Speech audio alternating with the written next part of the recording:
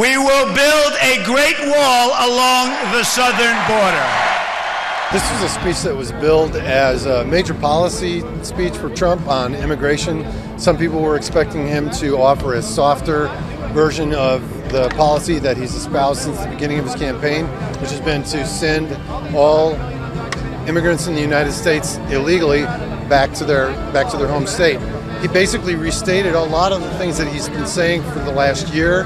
Uh, build a wall, make Mexico pay for it along the U.S.-Mexican border. We will issue detainers for illegal immigrants who are arrested for any crime whatsoever. One of the things that he said that was uh, slightly different is that he said he was going to uh, enact an immediate uh, detention process for those people suspected of crimes that are in jails across the United States. Some of these things are going to encounter a lot of scrutiny.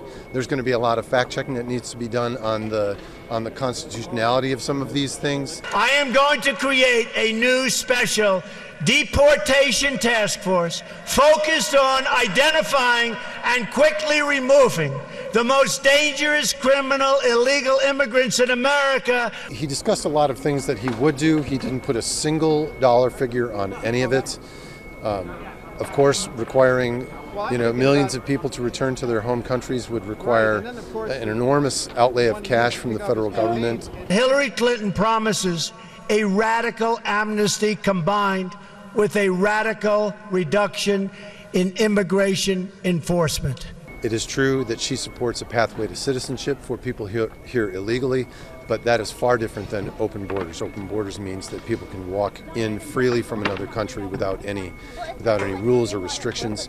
Uh, Secretary Clinton supports and has has promoted a system of fines, um, paying back taxes, learning English, and a lot of things that uh, moderate Repu- Republicans, such as John McCain, also uh, support.